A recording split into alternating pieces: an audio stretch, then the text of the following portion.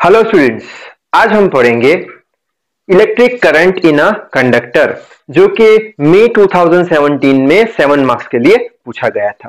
तो I hope you are ready with your pen and paper so without wasting much time let us start this video so इस topic के अंदर हमें जब ये जो कंडक्टर है, उसमें से जो करंट फ्लो हो रहा होता है, तब उसकी कंडक्टिविटी कितनी होगी, उसका इक्वेशन ये वाला हमें डिराइव करना है। तो कैसे डिराइव करेंगे, कैसे स्टार्ट करेंगे तो सबसे पहले हम ऐसा बोल देंगे कि एक कंडक्टर हमने लेके रखा है, जिसका क्रॉस सेक्शन एरिया ए है और जिसकी लेंथ जो है वो कैपिटल एल है। अब ये कंडक्टर के अंदर बहुत सारे फ्री इलेक्ट्रॉन्स होते हैं तो हम ऐसा अज्यूम कर देते हैं कि in the conductor there are N numbers of electron capital N number जितने इलेक्ट्रॉन ये कंडक्टर में प्रेजेंट है। अच्छा बाद में पिछले वीडियो में हमने ड्रिफ्ट वेलोसिटी के बारे में पढ़ा था, या फिर बोल एवरेज वेलोसिटी के बारे में पढ़ा था। एवरेज वेलोसिटी किसके बराबर थी? एल बाय टी के बराबर थी। L means length of the conductor T means time taken ठीक है? अच्छा और हमें दूसरा भी एक इक्वेशन पता है करंट का कौन सा?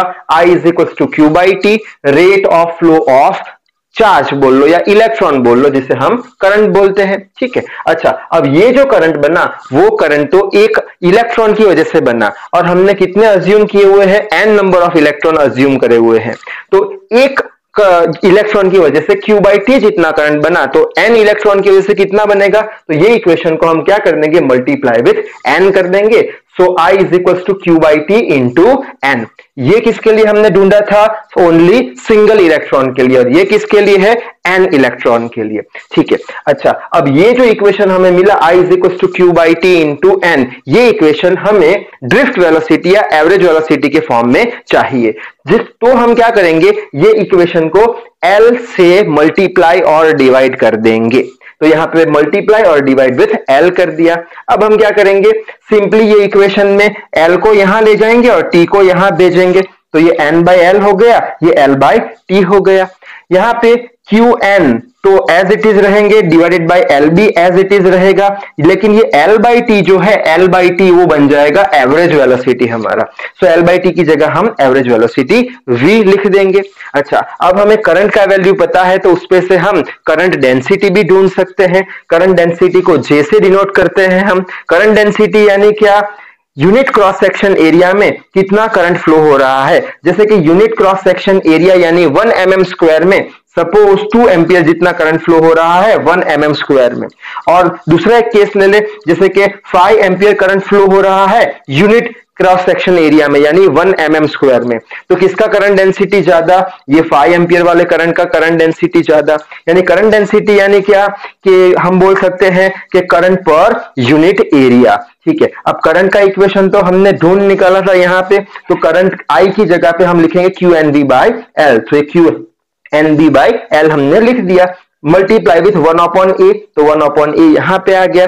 अब हम क्या करेंगे कि ये जो एन है और ये जो L है, और ये A है, इसे हम साथ में रखेंगे। बाकी Q तो यहाँ पे रख दिया और V हमने बाहर निकाल दिया। अब ऐसा क्यों किया? क्योंकि ये N divided by L A जो है, उसे हम बोलते हैं concentration of charge per unit volume अब कैसे बोलते हैं? देख लेते हैं। एन बाई एल ए तो यहाँ पे मैंने लिख रखा है एन बाई एल ए अब एल यानी लेंथ ए यानी एरिया लेंथ इंटू एरिया अगर आप करोगे तो आपको क्या मिलेगा? वॉल्यूम मिलेगा। और एन क्या है? नंबर ऑफ़ इलेक्ट्रॉन्स है।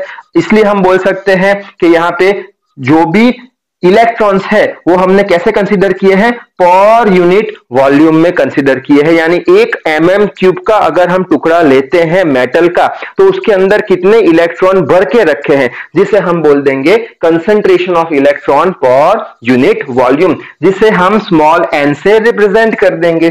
तो ये जो पूरा क्यू बाई एल ए है, वो क्या हो गया? चार्ज कंसेंट्रेशन या electron concentration per unit volume जिसका वैल्यू हमने क्या लिया? स्मॉल एन ले लिया तो J is equal to Q N V ये इक्वेशन हमारा आ गया। अब करंट डेंसिटी का दूसरा इक्वेशन भी हमें पता है, कौन सा है? Sigma into E sigma यानी कंडक्टिविटी ई यानी इलेक्ट्रिक फ़ील्ड अब ये इक्वेशन वन और टू दोनों को अगर आप देखोगे तो आपको क्या मालूम चलेगा कि दोनों equation having same left hand side तो दोनों इक्वेशन की राइट हैंड साइड भी सेम होगी। तो दोनों इक्वेशन की राइट हैंड साइड को इक्वेट करेंगे कैसे? इसकी right hand side Q N V बराबर इसकी right hand side sigma into E अच्छा so Q N as it is लिख लिया, अब वी यानी एवरेज वेलोसिटी सो जब हमने मोबिलिटी ऑफ़ चार्ज कैरियर पढ़ा था, तब हमने एक इक्वेशन डिराइव किया था। क्या? कि average velocity is equal to mobility means mu into electric field. तो ये इक्वेशन हम यहाँ पे रखेंगे। वी की जगह पे म्यू इंटू ई रख दिया।